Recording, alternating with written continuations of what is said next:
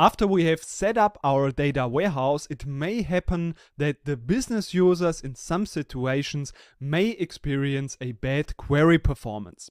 This means that they would have to wait very long for their results in their reports and also if they want to work on the database, they have to just wait very long until the data is retrieved.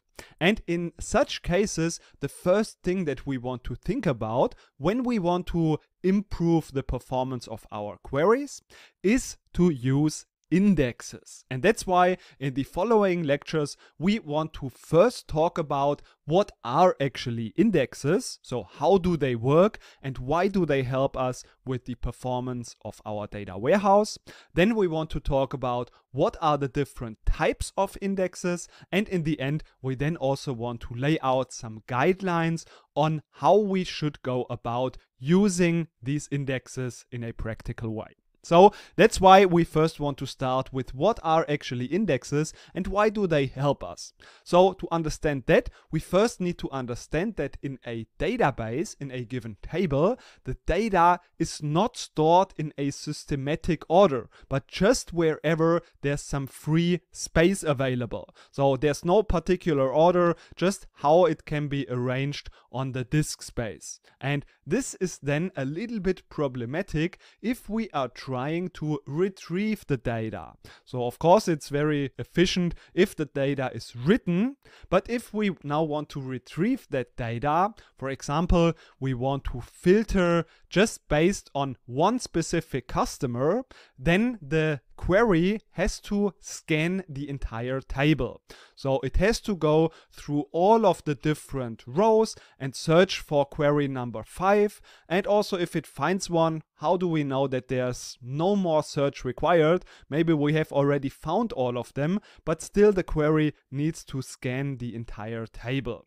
So this is a full table scan and it's very inefficient in terms of getting the data out. And that is why we want to use indexes. So those indexes are basically storing the data in a specific order. So for example, if we place an index on the customer ID, this will be in a particular order and we can then just find a pointer basically. So for example, the value 4 for the customer ID is in location, so row ID number 1. Then we have value number 5. This starts at row number 2. And then the next value for the customer ID is 8.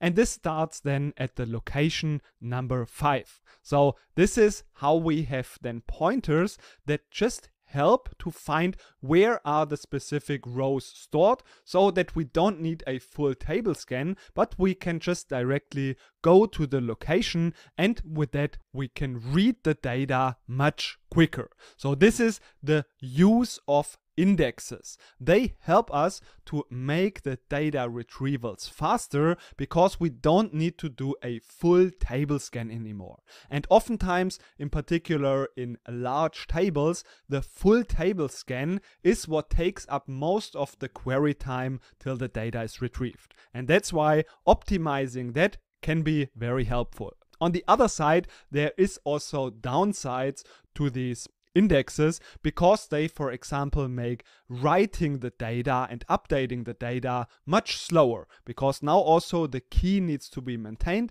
and we can now not write the data just wherever we want to.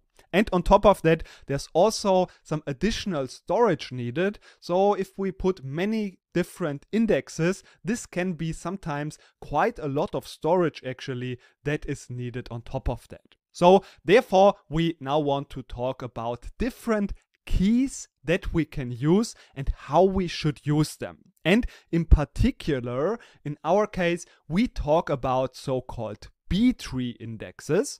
Those are basically the standard indexes. And then there are also so-called bitmap indexes. And they are particularly helpful for data warehouses. And we now want to understand what are these different indexes, how do they work, how do they differ, and that's why we want to in the next lecture have a closer look at how those two different types of indexes work and how we should use them. So that's what we're doing in the next lecture. In the previous lecture, we've seen that indexes can help us to make data reading faster, especially if the data needs to be filtered so that we can avoid full table scans. So that's why we first want to now start with the first type of index, which is the B-tree index. As mentioned, this is the standard index. So if there's no particular type of index mentioned, we usually talk about this B-tree index. And this is just a multi-level tree structure that is just using a tree logic to break the data down into different pages or blocks. So, for example, if we put an index on a name of a person, this can be broken down by the first character, and then we have, for example, the first character is an A, then we look at the second character. If the second is then a B, then this can be broken down even more. And then on top of those values, we also of course have the information where is this data stored. So the row number is also then included. So for example, in here, if we want to look at Adam, we have AED, we should start looking at row ID number 20.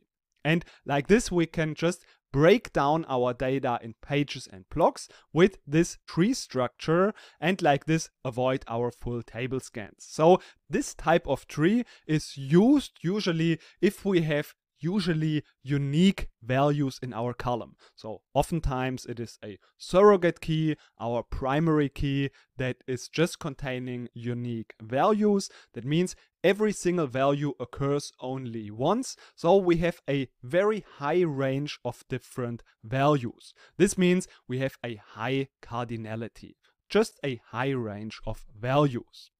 And we should note that we should never put an index just blindly on all columns in our tables because we have seen that there are some downsides like cost in terms of storage, in terms of update and insert operations. And this is why we later on, of course, also want to talk about these guidelines. But now we first want to also talk about the so-called bitmap index because this has some advantages in our case if we are working in a data warehouse. And that's why in the next lecture we want to talk about the bitmap index.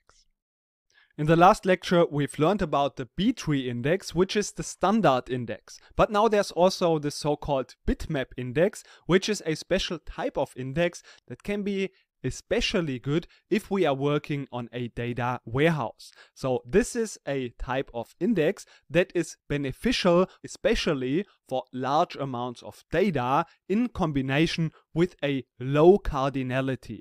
So for example, if we have only a few different values in our table, but the table itself is huge. So for example, one column can only take three different values or maybe only two different values, then this is a low cardinality and then a bitmap index is a good choice in our data warehouse because the benefit of that is since the data is stored in so-called bits, we will see later on how this works in a little bit more detail, it is very storage efficient. And on top of that, it is also very good for the read performance with the downside that it is not so efficient for our data manipulation. So if the data needs to be updated or inserted, in this case, it is not so efficient, but we can basically live with that a lot better because we are in a data warehouse and the most part is getting the data out, so reading the data. And that's why a bitmap index is usually a very good choice if we have a low cardinality in our data warehouse. But now, how does this bitmap index work? So we have this table and of course we now also want to create a structure that helps us to avoid full table scans. And in this case, we don't use a list, but we use bits. So this can look something like this. We have the different payment types and we see that there are only two different types in our case. And this is why we can now create different maps basically that are telling us in which rows we find which values. So for example, for the value visa, we can find this value in row number one because there's a one and in row number two also because there's also a 1. In row number 3 there's also a 1. And then in the next row we see that in row number 4 there is a 0 and that's why we cannot find the value Visa. But if we now go to the value MasterCard we find in row number 4 yes, it is turned to 1. That means, yes, there is a value MasterCard. And this is then how basically there can be a map created that helps to find in which rows we find which value.